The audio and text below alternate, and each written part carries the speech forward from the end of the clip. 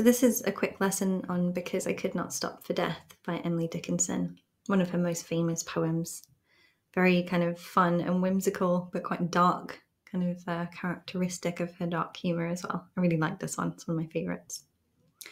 So, um, read the poem aloud to yourself if you haven't already, or you can catch my recording of it separately from this lesson if you like to. I'm going to jump straight into the vocab so with poems, you always want to just check that you understand the words properly and precisely each time and you know what they mean.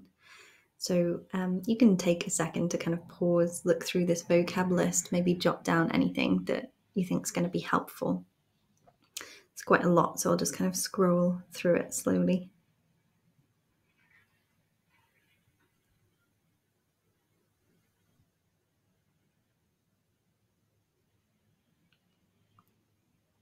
Yes, we'll jump into the story summary. So essentially, what she's saying here is it was impossible for me to stop for death. I, you know, I was too busy to think about death. He stopped for me instead kindly. So death is personified as a sort of gentlemanly figure. And they take a carriage ride together, which is similar to kind of taking a taxi nowadays, but a bit more old fashioned and fancy, like a horse and carriage. So the only things in this carriage, the only things they were driving or riding with, um, was the speaker, death, and immortality, which represents the idea of everlasting life. They drove slowly along the along the road because death didn't need to rush, and she also had kind of prioritized death for for once over all of her other tasks in order to be polite and civil to him. So he'd been kind to her, so she was being kind to him. They went past the school where children worked hard at the break recess, and the children were arranged into a ring. And then they went past fields of grain that watched the carriage as it travelled by. And finally, they passed the setting sun. There's a little dash here that we'll go back to when we look at the structure. Actually, the sun passed them because he was also travelling. As he set, the dewdrops drew near, all trembling and chill. And she realized that she was wearing very light, fine clothing. Then they get to a house, and it looks like a swelling in the ground and the earth, and you can barely see the roof of it.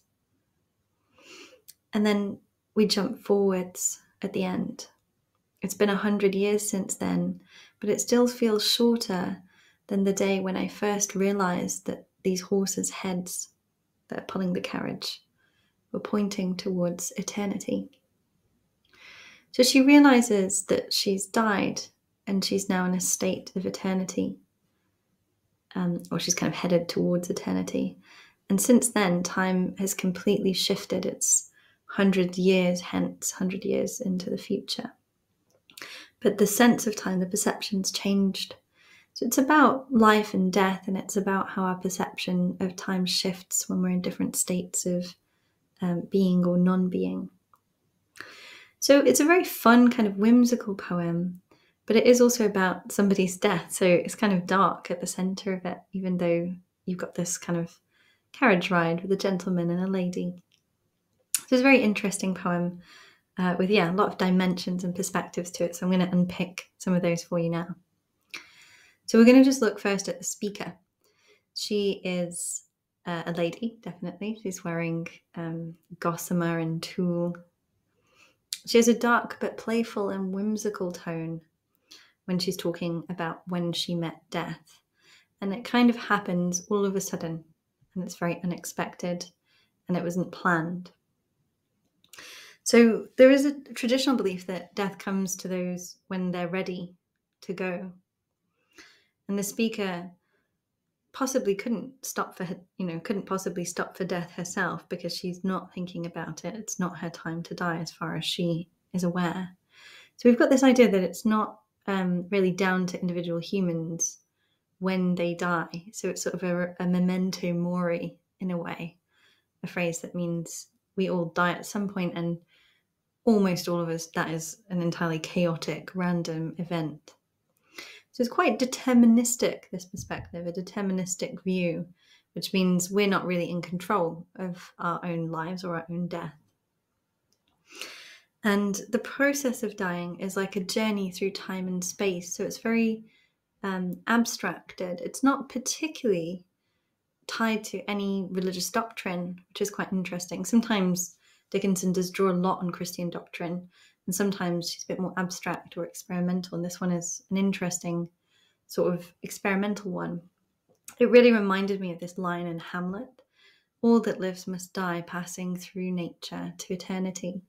So um, Dickinson, as a lover of Shakespeare, potentially was sort of drawing on this line when she was thinking about it. It's the same idea of life, death, and transition going on there. So if you've got time, I want you to just have a quick look at this little task. Go back to the poem and try and sketch out what type of person, what character, what personality is this. It's always a poetic persona. So even though this is a poem spoken in the first person, it's a female, it is obviously an aspect of Dickinson that she's expressing, but it's not her entire self. So you want to think of it as a poetic persona rather than Dickinson herself when she's speaking. So we're going to jump a bit more deeply and precisely into analysis now. So there's a lot of pronouns we, he, I. This is quite varied and it grounds us in selves and characters which are then pitted against the abstract concepts of the poem. And there's lots of abstract nouns there death, eternity, immortality. All of these are very difficult to comprehend and our self is kind of like the starting point by which we understand these abstract concepts. They're all personified as passages in the carriage, death and immortality, sorry. Eternity is kind of the, the destination. So they're all proper nouns. So it's kind of like death and immortality are sort of human in a way, or kind of humanoid. And eternity is more like a location or a final destination of this carriage.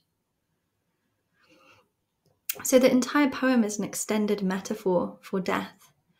And usually poems about death are quite sad or morbid, but this one's kind of fun and unexpected and in some ways quite humorous um, and a little confusing and unusual, but it's not necessarily sad. Um, so it's yeah, an interesting, quite alternative perspective on on death there. So the tenor if you, if you want to go really deep into metaphors, you don't have to go this deep, but the tenor is the act of death. And the vehicle is a carriage ride, which I think is quite clever because I say carriage in itself is a vehicle. I don't know if she was thinking of that when she made this poem. So there's varied images that they pass by as they're going on this journey. And those images sort of um, appear and disappear depending on the stanza that we're in and she's kind of passing through the realm of the living and through nature into uh, the state of eternity, which is something far more abstracted than any physical imagery could describe. So, the things that she describes imagistically, we have a school, maybe something that's familiar to her because she does say the school, and then a house as the sun is setting, but the house itself is kind of unfamiliar, like it's sunk into the ground. Um, I looked into this and what people think about this house, and the general consensus, because it, did confuse me actually, seems to be that um, it's sort of a grave or a tomb that's both above and below ground. It might also be a charnel house. So charnel houses, I don't know if they, I don't think they exist anymore, but they used to be places in on church grounds where the bones of the dead were kept. It might also suggest that time has passed and the speaker is unaware of it. The house maybe represents the idea of ruin, the idea of the way in which physical matter that exists in a solid form on earth eventually degrades back into rubble, then earth, then dust, um, or soil. So we have this, that's a slightly more biblical interpretation, the idea that everything concrete eventually dissipates back into earth and dust. There's a lot of Gothic imagery here. It's a very Gothic poem. So the figure of death itself, obviously, is very Gothic. Um, and he represents the Grim Reaper. So we'll, we'll kind of come back to that one in a minute. Her dress is made of gossamer, which is an ambiguous word. There's two interpretations. So the first one is that it could be a fine silk material, quite rich material, um, suggesting again the nature of a lady and a gentleman going on a carriage ride. But also, it is the material from which spider webs are woven. So gossamer is, um, yeah, almost like a kind of like a kind of gothic, creepy image of her dress being made of cobwebs. Her shawl is tulle, which is a kind of net or mesh, which also is this kind of fine, very thin material. For me as well, that that's kind of a transition into a ghostly state of being. So it's sort of like her physical concrete self is fading away and she's becoming pure spirit rather than matter. Um, so I see that as quite a beautiful, kind of delicate but very gothic image. She starts to feel chill at sunset as well, which is kind of um, her self and her self awareness kind of fades in and out of this poem. And then by the end, she's not got any concept of time left. So her her perceptions start to warp and shift as she goes through. You might have noticed as well, finally, the Anaphora. We passed the school, we passed the fields of gazing grain, we passed the setting sun. So this kind of repetitive feeling, um, as if it's almost overwhelming, or she's just trying to categorize and quantify what's happening to her. Um, so yeah, it's quite interesting as well if you look into the man-made versus natural imagery. Some of it is things that humans have made, and some of the things are more what just exist in nature. So structure then, it's a narrative poem. It's a story, so it's not just a lyrical poem. A lot of Dickinson's poems are actually lyrical rather than narrative. Um, but yeah, this one has a full story to it. There's time shifts where she's moving slowly at times and then suddenly skipping forward several centuries. So you, you might want to have a look at when does it feel slow, when does it feel fast, the way that she's skipping through the imagery of the poem. The opening and ending are always good things to structurally look at. So the first one is kind of ironic um, and a little bit surprising. Um, it's a euphemism saying she's maybe unprepared to think about her own death or to consider it, which is a very common human phenomenon that we we all know that we're going to die, but very few of us really like to contemplate, uh, contemplate death. It's, it's considered morbid. It's sort of usually socially unacceptable to fixate too much on your death. So it's kind of a dark humour because she's not thinking about it, she's just kind of living her life, but suddenly she finds herself in the presence of death. Um, so we kind of endeared to the speaker for that reason. We probably see ourselves as similar to her because most of us uh, avoid or ignore the idea of contemplating death too much. Um, and Death also is a kindly figure. He's he's surprisingly nice. A lot of depictions of this grim reaper type figure, frightening um, kind of horror images. But he looks like a gentleman. He's a male persona. Um, the idea kindly, I also in, interpret it as a double entendre. So, on the one hand, she's kind of maybe half grateful that death has paid attention to her but also a little bit annoyed because she's like, well, because he's kind, I have to respond in turn and be attentive to him. Whereas actually, I was busy with my own stuff. I didn't really want this to happen now. So there's a bit of um, reluctance or kind of tension there between what the speaker would like to do and then what she's sort of confronted with and what she has to do. Um, so yeah, the, the final line is actually a volta, which is interesting because normally voltas come earlier up in the poem. This is like a turning point.